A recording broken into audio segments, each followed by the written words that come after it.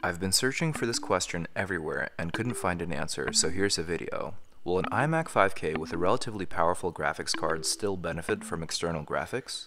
For those who are just looking for the answer, the answer is yes. I noticed improvements of around 11% when performing stabilization tests. My results? 8 minutes and 41 seconds without an external graphics card, and 7 minutes and 45 seconds with one. The clip was about 5 minutes in length and in 4K. It was a pretty brutal thunderstorm. I will include a link to it at the top of the video if you're interested in checking out a pretty artsy scene of Reston, Virginia looking beautiful.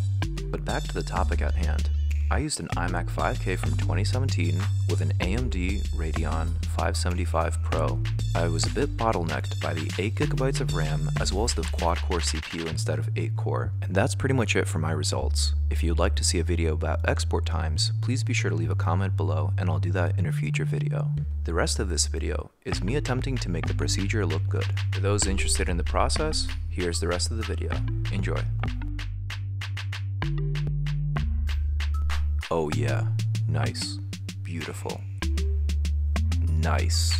Look at that Sonnet E graphics breakaway, nice. Ah, oh, those angles. Now look, it's on a little perch. I got up pretty early for this video. Now the iMac's powering on. Nice, look at that side scroll. Here's the computing beast with its gorgeous 27 5K display.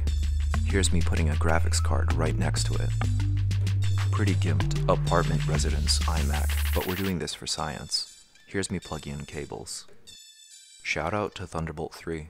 I was excited for science, sorry that last clip was shaky. Plug in a solid state drive because it uses one of those terrible fusion drives, and off we go. Okay, with a stream of consciousness out of the way, I first played around with playback in Final Cut Pro. Next step for the stabilization test was to first disable automatic rendering in the background and delete all rendered media and transcoded media and all that good stuff ahead of time. There's my local favorite Apple Store. And once we select everything, we select stabilization and then wait for the process to complete. Not gonna lie, I've been using an eGPU for a few months now, and that singular GPU looks a little lonely. Once the process completes... Huh, how'd that get in there? We see that the whole process took 8 minutes and 41 seconds, and then we plug in the eGPU and repeat the same process.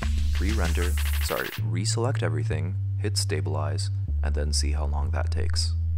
Nice with the two eGPUs in activity monitor. I'll be honest, at first glance it didn't seem much faster, but then after I timed everything and the entire process completed, what seemed like ages later since I was sitting there with a stopwatch, I noticed that the entire process took only 7 minutes and 45 seconds and 92 milliseconds. Here are more artsy shots because I really want the iMac 5K, maybe coming soon. And that's all for my artsy rendition of the whole process. If you've made it this far, I sincerely would like to thank you for watching. I put a lot of effort into these videos, and all of the positive feedback I've received has given me a lot of support and encouragement. I'm looking forward to publishing more content, and if you liked today's video, please be sure to subscribe and like. Thanks for watching.